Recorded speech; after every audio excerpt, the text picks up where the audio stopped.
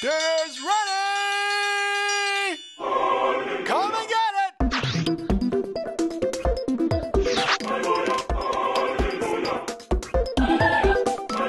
Have you noticed something? Mm, no. Our food has been changing. What do you mean? Food has changed a lot over the last 50 years. Well, it's fast and easy, and we've got lots of it. You call this food? Of course, it's food. Just read the labels.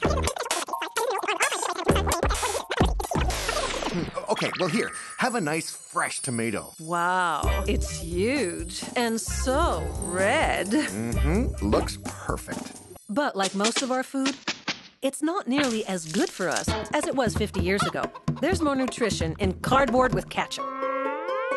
Is this really still a tomato? Where does food come from anyway?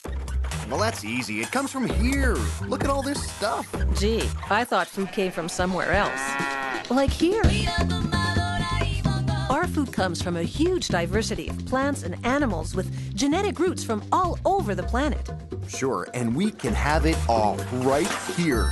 The choice is mind-boggling. Not so fast. 25% of what's on grocery store shelves is processed versions of just one crop. It used to come in all kinds of varieties. Our potatoes, a few pale starchy kinds designed to feed french fry machines. In the Andes, farmers still have hundreds of varieties, but maybe not for long.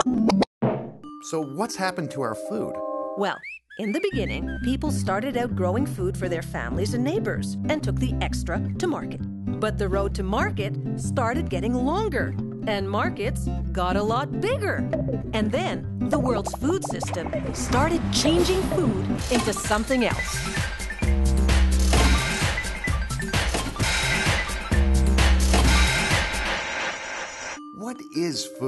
Well, you need seeds, soil, the right amount of sunshine and rain, and farmers who know and appreciate the complexity of how all these things work together.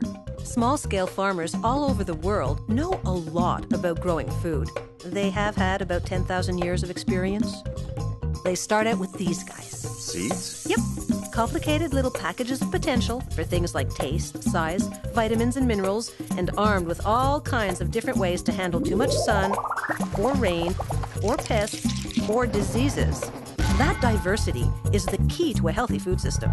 But if we could redesign tractors, we could probably redesign seeds and make them grow food bigger and, and faster, too. Or grow food in one convenient, package ready shape and size. We can do that? Oh, sure. The MH1 tomato was even designed with skin tougher than car bumpers. Hmm. And the nutrition content? Oh, who's going to notice? And anyway, these new seeds came with their own designer fertilizers and pesticides. Hmm. Gee, this can't come cheap. But Who do they write out the IOU to? Oh, some very big seed companies, who also just happen to be some very big pesticide companies. Wow, these newcomers meant business. Mm hmm. So, a lot of old ideas about seeds and soils and variety and diversity and farmers and food weren't really needed anymore. So, just how does this new food get to our dinner table now? Through a lot of gates.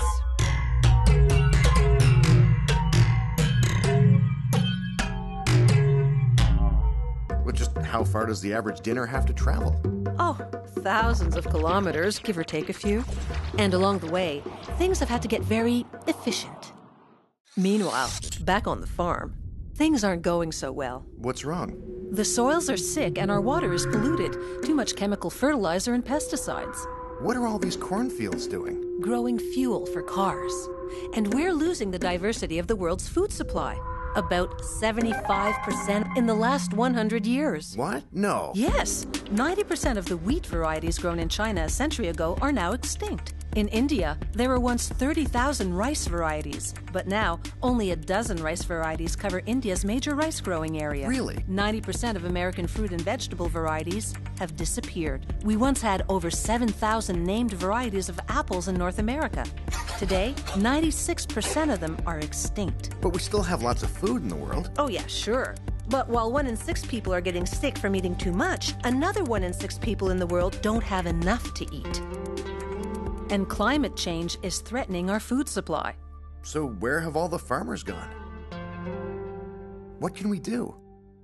Well, here's a start. Think about where our food comes from and how it's produced. Buy local, organic, and fair trade whenever you can. Support small scale farmers who grow healthy food around the world. Make your voice heard by joining the worldwide movement to change our food system. Together, we can rebuild a healthy food system for everyone.